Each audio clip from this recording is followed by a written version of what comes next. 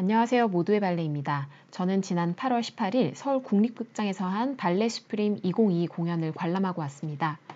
마린스키 발레단의 김기민 발레리노와 함께 유명한 발레 스타들이 총출동한 발레 갈라여서 많은 발레 팬들이 공연장을 찾은 것 같았어요.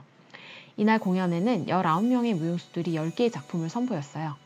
모든 무대가 끝나고 웅장하고 신나는 음악과 함께 커튼콜이 시작되었습니다. 먼저 공연의 첫 시작을 활기차게 열어준 작품이었던 파리의 불꽃 그랑 파드되를 한 야스민 나그디와 줄리안 메케이입니다. 나그디의 푸에테 턴과 줄리안 메케이의 점프가 매우 돋보이는 무대였어요. 라흐마니노프 음악 아사프 메세러 안무의 Spring Water를 춘 이사벨라 보일스톤과 다니엘 카마르고입니다. 짧은 작품 속에서 모든 테크닉을 완벽하게 보여준 커플이었어요. 세 번째로는 박유진, 이준수의 흑조 그랑 파드되였습니다. 대선배들과 함께하는 무대여서 그런지 긴장한 모습이 조금 보였지만 앞으로가 더 기대되는 young star였습니다. 이번 공연을 통해 처음 알게 된 작품 Jubilee 파드되의 최유희 윌리엄 브레이스웰입니다.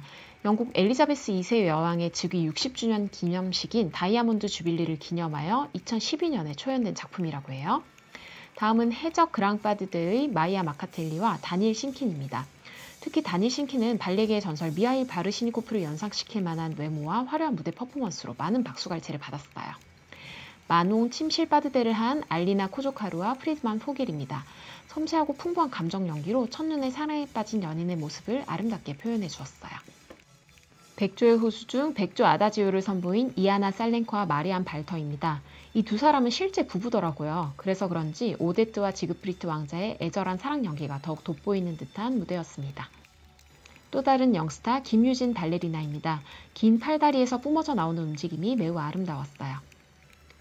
Le Parc 파드되의 도로테 질베르와 마르셀로 고메즈입니다. 현대적이면서도 관능적인 멋진 이인무였습니다.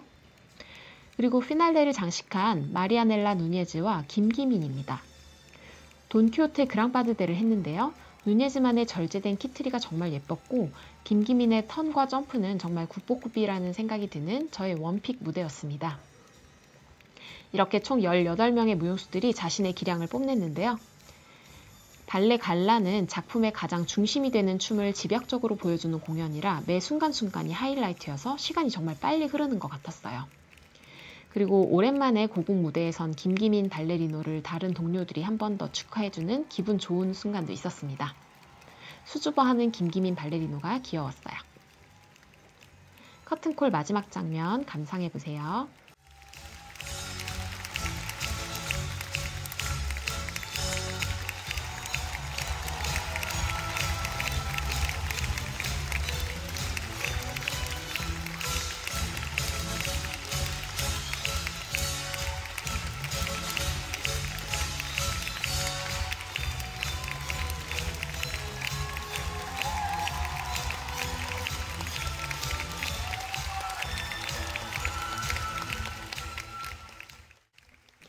이렇게 발레 스프림 2022 첫날 공연이 성공적으로 막을 내렸습니다.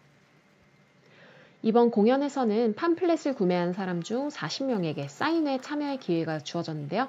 저는 아쉽게도 당첨되지 못했어요. 그래도 가까이서 무용수들을 오래 볼 수 있어서 좋았습니다. 큰 환영을 받으면서 김기민, 마리아넬라 누니즈, 도르테 질베르, 마르셀로 고메즈, 이아나 살렌코, 마리안 발터, 야스민 나그디, 줄리안 네케이가 나왔습니다. 무대가 끝난 후 지쳤을 법한데도 팬 서비스를 많이 해주면서 함께 분위기를 즐기는 모습이었어요.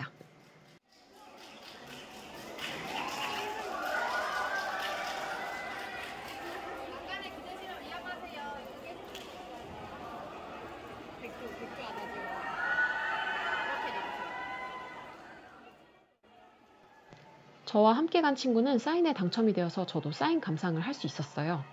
모두의 발레를 위해 냉큼 영상도 찍었답니다.